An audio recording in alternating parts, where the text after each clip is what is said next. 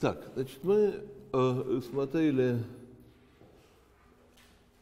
статическую картину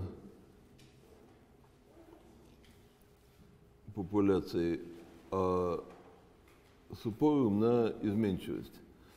На самом деле надо это как-то мотивировать, но мотивировать это несложно, потому что почему нас интересует изменчивость? Потому что вообще сама необходимость рассматривать популяции э, возникает из-за того, что для нас принципиально важен отбор. А отбор э, действует только когда есть какое-то разнообразие. Если бы все были совершенно одинаковые, то никакого отбора бы не было. И поэтому нас интересует э, прежде всего наследуемая изменчивость популяции, каковую мы, значит, и рассматривали на уровне генотипов и на уровне фенотипов. Вот, это все хорошо, но мы совершенно не задавались вопросом, а каким образом популяция вот приходит к такому изменчивому состоянию, а, то есть рассматривали временной срез, не зная ни прошлого, ни будущего. А теперь, значит, самый момент перейти к динамике, то есть собственно, к эволюции популяции, к микроэволюции. Вот чем мы сейчас и займемся. И можно это делать по-разному, но мне нравится э, рассматривать значит, вот, сказать, элементарные факторы микроэволюции. А тоже можно ввести всякие э, до некоторой степени схоластические споры о том, какие факторы микроэволюции значит, а, существуют, но такой список мутация отбор, а, способ размножения, структуры популяции и а, дрейф – это такой хороший разумный список. Вот. И, естественно, сначала рассмотреть эти факторы по отдельности – то есть э, можно представлять себе популяцию такую тупую, в которой вообще ничего не происходит. Популяция из бесконечно большого числа особей, в которой ожидаемое количество потомков каждого генотипа э, одно и то же, то есть в ней нет даифа, в ней нет отбора, в которой никто не мутирует. Вся эта популяция состоит из особей одинакового возраста – сидящего в одной географической точке э, и размножаются бесполым путем. Вот такая вот тупая популяция, в которой вообще ничего не происходит. А теперь мы будем ее значит, э, усложнять э, сначала э, вводя факторы микроэволюции по одному. Ну и вот давайте начнем с мутационного процесса. Значит, добавим мутационный процесс и посмотрим, что с такой как это бесполой, э, безотборной, бездарифовой и неструктурированной э, популяции, что с ней мутации будут делать. А, значит, тут есть у меня куча всяких рассуждений о биологии мутационного процесса. А, я даже не знаю. А, вы, вы, наверное, все это знаете. Вы все знаете про мутационный процесс? Кто-нибудь может сказать, что, вы, что, что известно про мутационный процесс? Как-то все загрустили ужасно. А? Где и как и зачем и почему?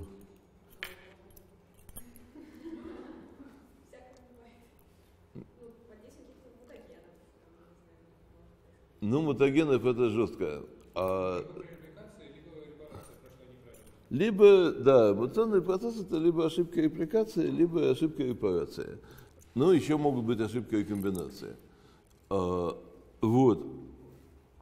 Мутагены, видимо, отвечают за небольшую долю мутационного процесса, ну, в смысле, так, такие, так сказать, внешние мутагены. Там, если бы радиации совсем не было, то скорость мутирования там упала бы на 1%. Вот. А Господь наш Будда сказал, что все составленное из частей разрушается. И, соответственно, вот так оно и происходит. И когда полимераза значит, э, удваивают ДНК, то она не может действовать безошибочно. Если попытаться э, частоту ошибок свести к нулю, то, соответственно, э, цена процесса репликации в смысле энергии затраченной, в смысле времени затраченного устремится к бесконечности. Вот. И а, все знают, что когда хорошая репликативная полимераза присобачивает нуклеотид, она тут же его пытается оторвать. Замечательно, значит, это вы все знаете. Вот. А, ну и давайте я это все к чертям собачьим пропущу, потому что иначе у нас еще много всяких других э, полезных э, вещей. Значит, про биологию эмоционного процесса я считаю, что вы все знаете. Э, вот. Значит, да, вот она пытается его оторвать. А, ну, совсем все-таки коротко. Значит, четыре есть э, этапа, четыре, как это, э, механизма последовательно действующих, которые обеспечивают э, э, точность э, репликации.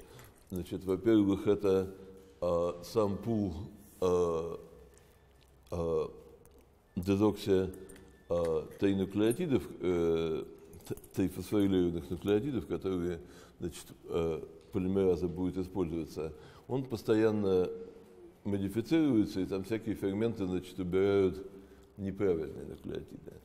А, во-вторых, а, приделывание нуклеотида зависит вовсе не от Уотсон-Крейгской комплементарности, которая может обеспечить там селективность только там 99%, а полимераза это такой большой значит, белок, она значит, смотрит, что она делает. А в-третьих, значит, э, приделанный нуклеотид она сразу пытается оторвать, и почти всегда оторвет неправильно приделанный нуклеотид, но еще на вероятностью там 30% оторвет и правильно приделанный нуклеотид тоже. Так что эта борьба за точность так сказать, обходится в некую цену. И, наконец, даже если репрессома сделала ошибку, э, то ошибка репликации – это же еще не мутация. На старой нити все хорошо, на новой присобачена неправильная буква или там дополнительная буква. И возникает мисмэч, как будет по-русски мисмэч, несовпадение между нитями. И э, за реплесомой ползет система этой самой репарации вот этих вот несовпадений, которую здесь на самом деле можно рассматривать как часть механизма еще репликации. Она, так сказать, физически связана с реплесомой, как недавно было показано. И э, это, значит, э, система обработки несовпадений э, должна понимать, какая нить старая и правильная, какая нить новая и неправильная. Э, у бактерии она смотрит на, метилирование, на что она смотрит эукариот, вообще никто не знает. Но на что-то она там смотрит, и, значит, в результате она практически всегда чинит а, новую нить по старой, а не наоборот. И только, значит, если все эти четыре а, линии обороны не сработали, значит, вот тогда возникает мутация. А, возникает мутация, и вероятность того, что все эти четыре линии обороны не сработают, где-то примерно 10 минус 10. Так что, значит, мутации у нас возникают на репликацию с абсолютно, так сказать, ну, неприлично низкой частотой. Ну и все знают про РНК вирусов, у которых нет ни mismatch repair, ни а, вот этой вот редактирующей 5-3 экзонуклеазной активности. Есть а, одна группа РНКовых вирусов, у которых а, вот этот самый а, proofreading activity есть. А, это коронавирусы. Но обычно, не, обычно РНКовых вирусов это ничего нет. Так, хорошо, это вы все знаете. Значит, это я здесь изобразил 100-500 разных способов, которыми ДНК может быть повреждена. И дальше все эти повреждения репарируются разными ужасными механизмами, там base excision, этот самый direct reversal, nucleotide excision, кросслинки, значит, двойные, в общем, ужасное количество разных механизмов, которые между собой взаимосвязаны. И механизмы эти, значит, тоже могут давать сбои. И тогда возникает мутация. Надо четко понимать отличие между повреждением ДНК и мутацией. Повреждение – это когда, собственно, поврежденная ДНК, сказать, строго говоря, ДНК уже не является, а является, так сказать, химически неправильной ДНК. А мутантная ДНК – это такая же хорошая ДНК, как и до мутации, только с измененной последовательностью нуклеотидов. Вот. И мутацию всегда нужно доделывать, не возникает сразу мутация, возникает какое-то повреждение. А, можно подразделять повреждения ДНК на мягкие и жесткие. Мягкие – это когда каждая нить сама по себе в порядке, но только они не совпадают, сказать, имеет место мисмэч, несовпадение. А жесткие, когда, значит, само, сами по себе нити не в порядке. Вот, значит, э, это вы все знаете, а вот история, которая чуть-чуть менее известна, значит, э, у многоклеточных организмов очень часто мутации приходят э, в виде кластеров. А, ну, понятно почему. А, если в зародышевом пути мутация возникла рано, то не одна гамета будет мутантная, значит, э, а существенная доля гамет будет мутантная. И, соответственно, в потомстве такого организма у которого в зародышевом пути мутация возникла рано, в потомстве такого организма мы будем наблюдать кластер мутаций. Вот. А это, значит, вот здесь нарисована картина, вот здесь вот возникла мутация в зародышевом пути и возник кластер. А есть еще совсем забавная ситуация, а, когда это единственный случай, когда для нас важно, что Э, для генетика важно, что ДНК это двойная спираль. Обычно какая нам разница? Мы пишем там одну нить, и вторая нить по ней восстанавливается. Но если обработать э, муху мутагеном, этилметансульфонатом, прямо перед спариванием, обрабатываешь самца, не обрабатываешь, а даешь ему э, пить воду с этилметансульфонатом, а больше ничего не даешь. Вот он ее и пьет. Вот и потом сразу запускаешь его спариваться, то э, может произойти оплодотворение сперматозоидом, у которого имеет место нерепарированное несовпадение. То есть в старой нити А, а в новой нити не Т, а Г. Потому что, значит, вот этилметансульфонат помешал репрессоме сделать ее работу. И дальше иногда оказывается, что э, яйцеклетка первое деление дробления происходит до того, как этот самый э, будет починен. И тогда понятно, что происходит. Если мы реплицируем ДНК, в которой был мисмэч, то у меня получится одна последовательность новая, в смысле старая, и вторая последовательность мутантная. У меня получится две молекулы, одна, значит, старая, хорошая, и одна мутантная. Так что вот это, если мы хотим безо всяких Э, дополнительных э, действий получить мутацию за счет ошибки репликации, то нам нужно подождать до следующего до следующей репликации, после чего у меня получится одна последовательность не мутантная э, и одна последовательность мутантная. Вот. А, и, соответственно, ну, например, у меня имеет место самка white – а значит, э, я ее скрещиваю с самцом дикого типа, но у него тоже возникла мутация white, вот такая вот. Вот она здесь нарисована, половинка красная, половинка белая. И если произошла такая ужасная вещь, оплодотворение сперматозоидом, в которой сидит нерепарированное несовпадение, то у меня получится мозаики 50 на 50. У нее один глаз будет красный, а один глаз будет белый. Она будет на тебя смотреть и думать, какие же вы все суки. Потому что э, вот, это, значит, такая ужасная картина. Мне нужно фотографию таких мозаиков. Я в свое время немало их видел и не сфотографировал, а сейчас не могу найти фотографию. Значит, вот это единственная ситуация, когда для transmission genetics, для передачи э, генетики, передачи информации, важно, что ДНК двунитевая, потому что две нити несут разную информацию. Ну хорошо, это такой курьез. Да, а вот важный момент, еще третий механизм э, э, мутации, это незаконная рекомбинация. Незаконная, в смысле, когда рекомбинируют не ортологи, а черт знает что. Но совсем черт знает что обычно не рекомбинируют, а рекомбинируют все-таки, когда есть локальное сходство последовательностей. Но вот самый простой случай, когда имеет место тандемный повтор. Вот у меня, вот у меня, э, как-то я по-китайски нарисовал, здесь надо было второй нарисовать. Сейчас, погодите. Вы и так все понимаете, ну дайте уж нарисую, а, чтобы было честно. Вот у меня на небольшом расстоянии друг от друга две очень похожих последовательности. Значит, это мамкина ДНК, это папкина. Значит, это ортологи, это ортологи, это паралоги.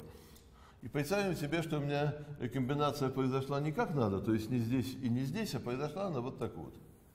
И тогда у меня возникнут две а, рекомбинантные хромосомы. В одной а, промежуток выброшен, то есть она вот так вот, и дальше сразу вот так вот. А во второй промежуток дуплицирован. Вот так вот, потом, и потом вот так вот. Понятно, да? Вот. А, есть еще огромное количество разных а, механизмов а, всякой ерунды, которые, значит, может происходить за счет такой вот незаконной комбинации. Комбинации не между ортологами, а между паралогами. Но вот возникновение делеции и дупликации э, это простейший, э, это простейший, э, простейшая ситуация может возникать, еще, может возникать еще много чего. Вот. И это очень важно, большая доля Э, больших мутаций, помните, мы говорили о больших полиморфизмах вчера, там, когда в одной хромосоме там, выпало 100 тысяч букв подряд или дуплицировалось 100 тысяч букв подряд. Вот такие большие полиморфизмы возникают за счет больших мутаций. И большая доля больших мутаций возникает за счет а, вот такой вот незаконной комбинации между а, паралогичными повторами. А геном человека, как вы знаете, набит такими повторами. Так, значит, это еще одна грустная история. Да. Сейчас. Угу.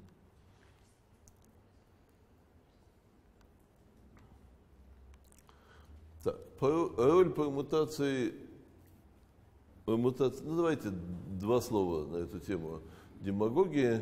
Как всегда, все понимал дедушка Дарвин. Э, э, как это, значит, возможности отбора э, полностью зависит от э, изменчивости значит, этих самых живых организмов. Вот. Значит, если бы не было мутации, не было бы изменчивости, и, соответственно, э, отбор бы, не было бы отбора, не было бы вообще ничего. Вот. Это-то понятно, но удивительным образом Э, по крайней мере, у таких организмов, как млекопитающие, у которых геном здоровенный и набит всякой дрянью, большая часть мутаций, видимо, нейтральна. То есть ни на что не влияет. Ну, там, в разумной степени. Не бывает, чтобы совсем не влияло. Но если у меня там в середине длинного интерна буква заменить на букву Г, видимо, действительно, так сказать, влияние этого на мой фенотип абсолютно ничтожно и пренебрежимо. Вот. Что еще более огорчительно то, что если взять только те мутации, которые на что-то влияют, видимо, значительное их большинство просто, безусловно, вредны. Но, в общем, в общем ничего странного в этом нет, потому, поскольку наш геном является продуктом 3,5 миллиардов лет эволюции, и если бы он был совсем неподходящий, то мы бы померли. И поэтому, когда мы берем, в общем-то, работающие вещи случайно и меняем, то если это изменение на что-то влияет, оно скорее будет плохим, а не хорошим. Так что э, то, что могут возникать полезные мутации, это совершенно удивительное свойство. Ну, представьте себе, там, не знаю, «Войну и мир». Вот написал дедушка Толстой, ну хорошо, человек там Толстой не умел писать по-русски, «Войну и мир», безусловно, так сказать, хороший редактор, ну не знаю, но кто там умел писать по-русски? Пушкин, там, Евгений Онегин. Как это? И попробуйте, меняя буквы в Евгении Онегина, Онегине, ну даже целые слова, получить поэму, поэму без героя. У вас это не получится. Вот. А тут то есть все мутации, которые вы внесете в Евгения Онегина, будут вредными. А почему-то, почему-то вот можно взять там обезьяну, поменять в ней отдельные буквы и получить человека, причем ну, то же самое можно сделать с Евгением Онегиным, но э, все промежуточные состояния между Евгением Онегиным и поэмой без героя будет всякая ерунда. А тут все промежуточные состояния тоже вполне жизнеспособны организмы. Э, почему это так? Это опять-таки свойство адаптивных ландшафтов, но почему адаптивные ландшафты устроены таким образом, понятия не имеем. Вот, хорошо. Да, значит, дальше очень интересный вопрос, который я хотел бы разобрать подробно, но я не уверен, что у нас будет время. Э, такой философский вопрос. Значит, ясно, что законы физики запрещают абсолютную точность чего бы то ни было, и поэтому какая-то доля мутации неизбежна. Но давайте поставим мысленный эксперимент.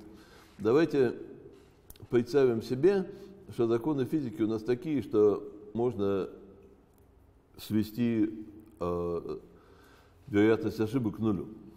Тогда это произойдет или нет? А, то есть, можно сказать так, скорость мутации – она минимально возможная, минимально совместимая так сказать, физическими ограничениями, или она какая-то оптимальная. Но в какой ситуации эволюция будет стремиться э, создать какую-то а, не нулевую скорость мутации, независимо от всякой физики? А, в ситуации, когда существенная доля мутаций полезна.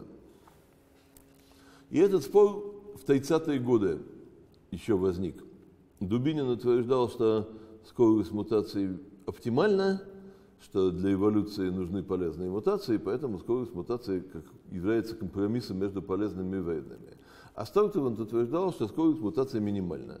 Говорит, мутация это ошибки, а ошибки всегда будут, э, так сказать, несчастные случаи всегда будут происходить.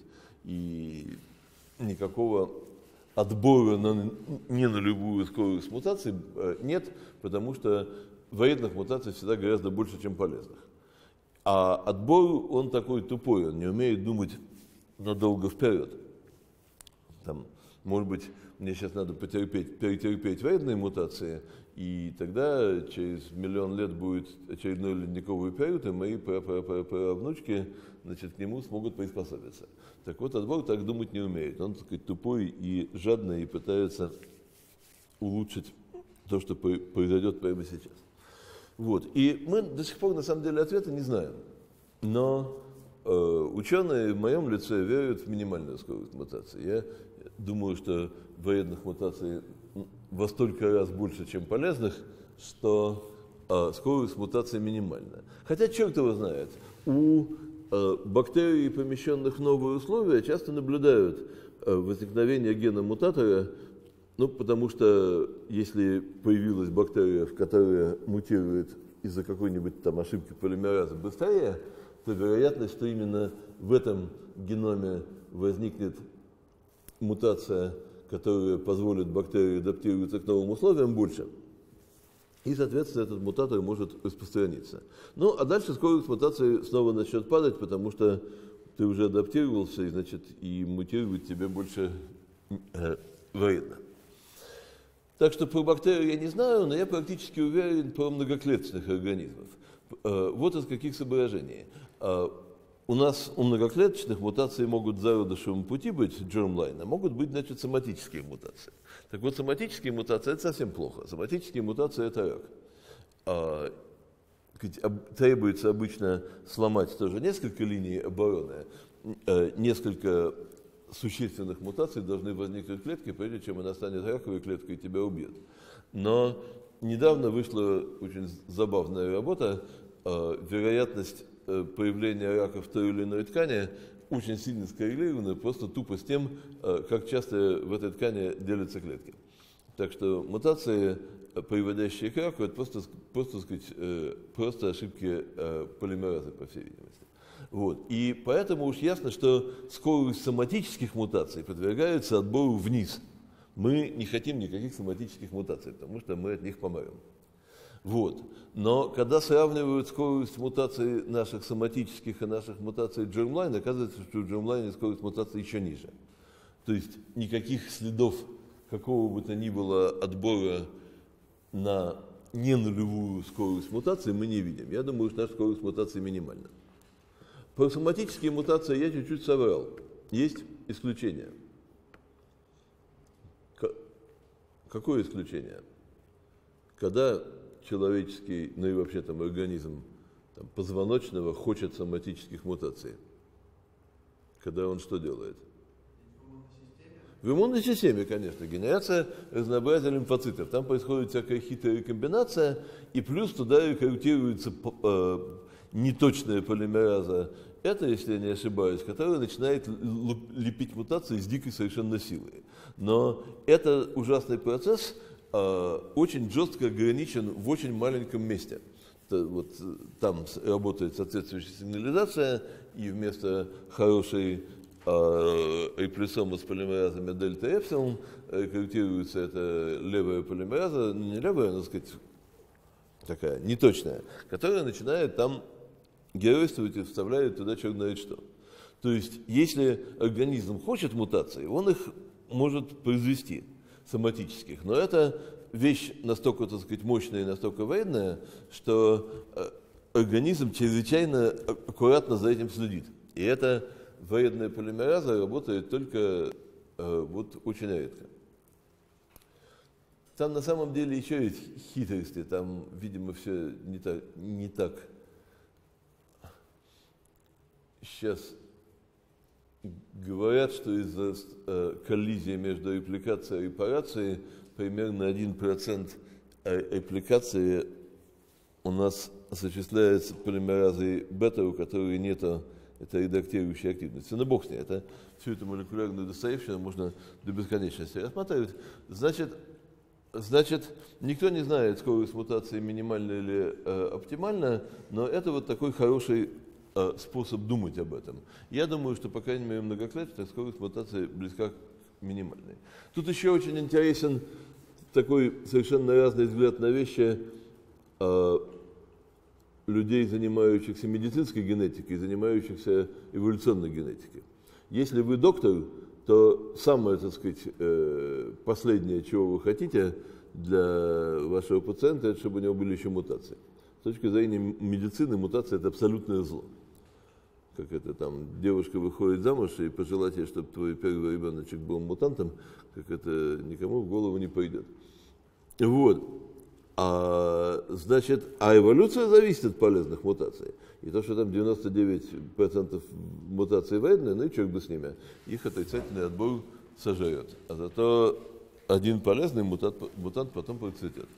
Так что на малых временах мутации, безусловно, вредные, а на больших временах они сказать, являются необходим, не, не, абсолютно необходимым фактором э, микроэволюции. Вот такой вот парадокс. Так, теперь классификация мутаций. Э, эта вся Достоевщина вам уже известна, потому что мы ее э, разбирали вчера в контексте полиморфизмов. Мы говорили о полиморфизмах, и вот какие полиморфизмы бывают, э, однонуклеотидные, деляционные – Э, вставочные, значит, и вот то, что мы говорили, полностью применимое здесь. На самом деле нет. Есть небольшое количество хитростей, которые я вам расскажу по секрету, только вы никому не рассказываете. Хитрости вот. А, значит, э, там 99% мутаций простые. Вот произошла одна замена. И вот эта мутация. Но иногда э, происходит какой-то ужасный глюк, и в качестве одного события, одним событием выдается хрен знает что. Вот это несколько таких примеров. Мутации Денова в большом количестве изучают врачи. Приходит человек с мендельской болезнью, или там его приносят, и его секвенируют, и находят в соответствующем гене мутацию которая значит, вызвала эту болезнь. Там, если это доминантная болезнь у, здоровых, э, у ребенка здоровых родителей, значит, это мутация Денова. Секвенируют обычно смотрят, там буквочка, буквочка заменилась. А иногда смотрят и вот видят вот такую вот хреновину. Значит, что произошло? У этого больного вот эти четыре буквы выпало, а эти три буквы заменились на эти три буквы, это А заменилось на это Т, это все нахрен выпало, эти две заменились на эти две, это заменилось, это заменилось. Это вот одно такое было событие. То есть каким-то образом эйплюсому переклинила, и она делала черт знает что, а потом, значит, э, спохватилась э, и дальше работала снова хорошо. Вот три таких примера. Вот. Но здесь проще, вот это вот проще, просто четыре буковки подряд. Тут большие буквы это экзоны, маленькие интерны, но это не важно. Вот. Называются они CSMM, Closely Spaced Multiple Mutations. Вот. А рассказываю я вот кошмар по той причине, что если увидеть такой полиморфизм в популяции, то, наверное, каждую такую штуку опишут как отдельный полиморфизм. Хотя они все приплыли как результат одного мутационного события. Так что вот такие сложные мутации – это единственный случай, где нет один к одному соответствия между мутациями и полиморфизмами. Обычно, обычно соответствие есть. Вот. Чего еще? Да, вот такие относительно простые ситуации, когда просто несколько замен подряд, их довольно много. Наши лаборатории, Володя Цеплярский их очень любит и изучает. А, примерно 1 и, может быть, даже 2-3% а, нуклеотидных замен а, приплывают не значит, как одиночные события, а как часть вот таких вот сложных событий. Но часто они могут быть на большом расстоянии, до 10 тысяч друг от друга. Все равно вероятность замены настолько мала, что если произошли две замены на расстоянии 10 тысяч друг от друга, скорее всего, а, это сказать, события связанные, на самом деле, части одного какого-то сложного события.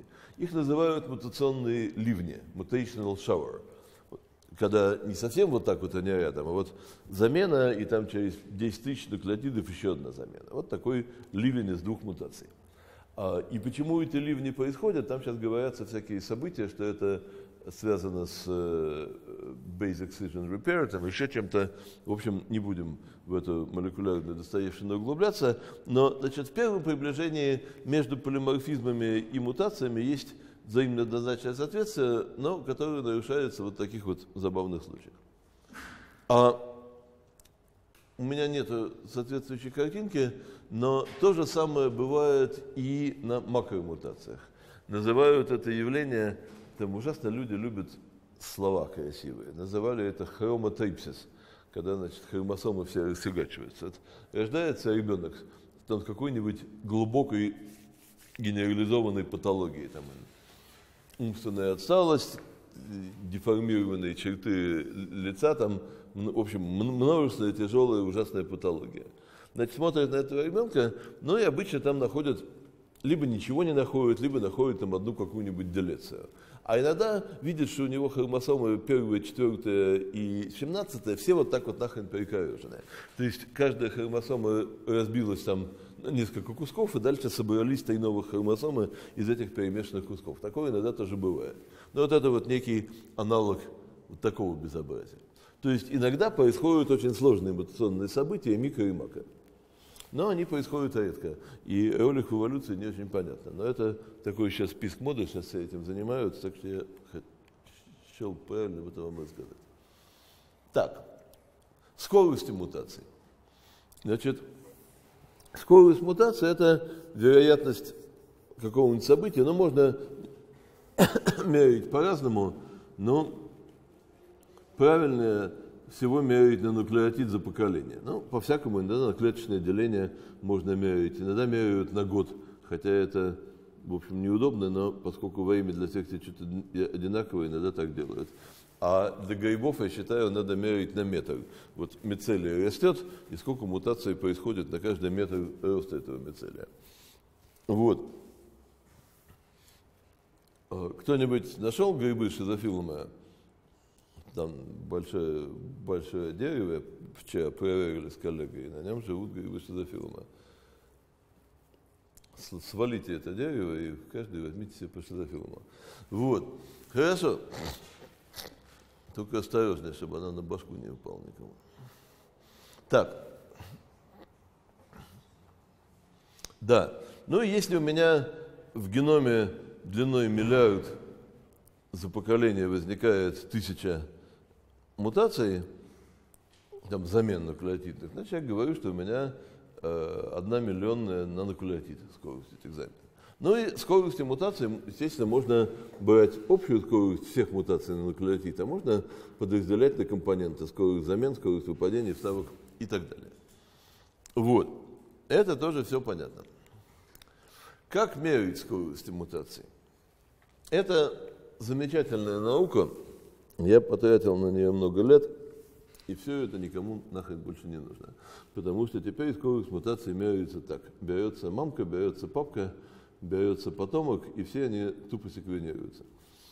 Делает это какой-нибудь молекулярный генетик, который муху не умеет отличить от крокодила, а, но, значит, а какая ему разница? ДНК одна, что в мухе, что в крокодиле. И это мне ужасно обидно, потому что я много-много провел счастливых часов за бинокуляром, глядя на фенотипы мухи. То есть тогда смотрели на фенотипы, а, и потом уже увидевши там ну, примерно глазные мутации, мы там смотрели на 11 локусов, примерно одна мутация на 50 тысяч возникала. 50 тысяч мух посмотрел, нашел мутанта, и дальше его уже секвенируешь только этот а, конкретный локус, в котором эта мутация произошла.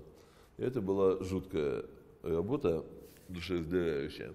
А сейчас это никому даром не нужно, потому что секвенирование нового поколения достаточно дешевое, достаточно э, точное, чтобы э, находить новые мутации, не, не глядя ни на какие фенотипы. Просто вот ну, на человеке сейчас это делают, как с цепи сорвались.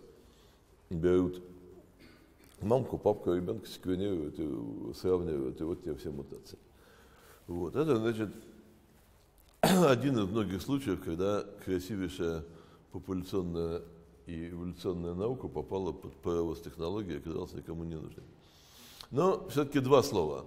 А, можно, э, как раньше делали, мерили скорость мутации, сравнивая разные виды. Вот сравнивая человека и обезьяна. А, мы отличаемся от шимпанзе на 1% а, в нейтральных сайтах.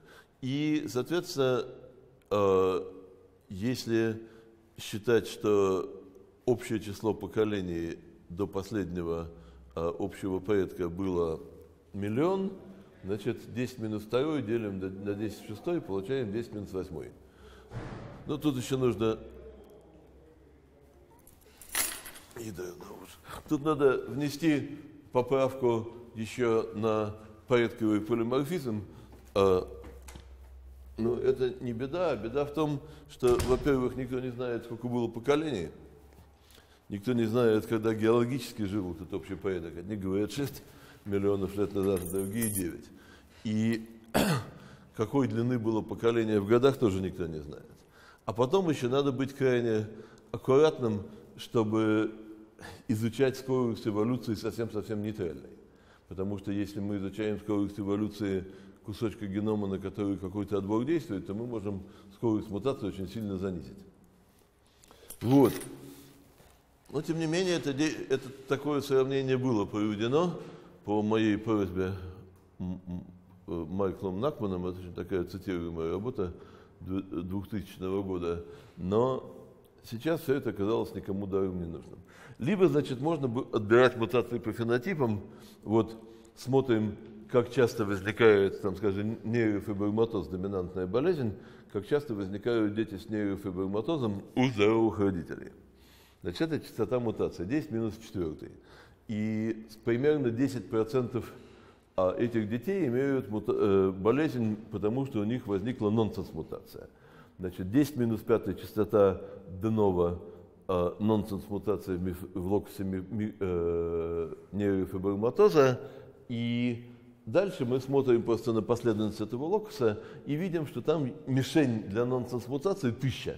Это здоровый такой белок, и там есть тысяча сайтов, где могут возникнуть нонсенс-мутации.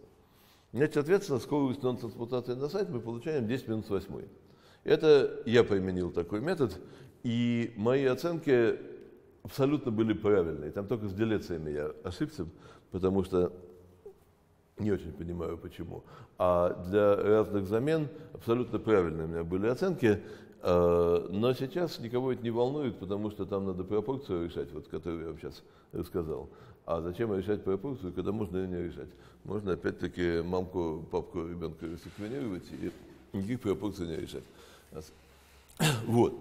В общем, появились, появилась возможность напрямую мерить скорость мутации, что чрезвычайно важно и приятно. Так, технические детали измерения скорости мутации, если вам делать нечего, собственно, мы это все уже обсудили. Замечательно. Вот, и здесь приведены данные по скоростям мутации. Сухой осадок, что она везде 10 минус 8 на нуклеотид за поколение. У всех многоклеточных тварей Э, ну, плюс-минус поллапты. У человека там константа немножко больше единицы, у мухи, видимо, немножко меньше единицы. Но все, 10 э, минус 8 на удивление, на, на удивление константно. А, ну вот, нашумевшая работа была два года назад, тоже это все знали, но знали, так сказать, исходя из косвенных данных, что у человека скорость мутации сильно зависит от возраста папаши. С каждым Э, дополнительным годом возраста папаши новорожденный ребенок получает в среднем две дополнительных de мутации. А от возраста мамаши не зависит. Понятно почему. Потому что в женском джермлайне у человека э, все деления клеток заканчиваются, когда девочке сколько, сколько лет? Когда она еще эмбрион когда ей там минус 4 месяца. И потом только, значит, овуляция и мейоз. А мужики производят сперму всю жизнь, и, соответственно, значит, если ты производишь ребенка, когда тебе 18 лет, то в твоем мужском джермлайне э, прошло 150 делений, а если ты как дуракова производишь, когда тебе 60 лет, то там прошло 600 делений. И, соответственно, количество де мутаций э, у ребенка, у которого папаша 60 лет, э, в два раза больше, чем количество новых мутаций, э, значит, э, если папаша 18 лет. Сухой осадок, во-первых, значит, как это, девочки, не выходите замуж за старых идиотов, а мальчики, значит, размножайтесь пораньше, но кроме шуток, я думаю, что, я думаю, что очень было бы разумно морозить сперму в молодом возрасте. Все хихикают, Э, потому что в молодом возрасте люди забочены чем угодно, только не заморозка с спермой. А на самом деле э, хихикать это совершенно не, э, не на чем, потому что, потому что это очень интересная область. А, ну вот если взять детей, произведенных молодыми и старыми папашами, то если там папаша за 50, то IQ ребенка где-то на 4-5 пунктов меньше. То есть э, там э, в, разных, в, разных, э, в разных наблюдениях получается по-разному, в разных экспериментах.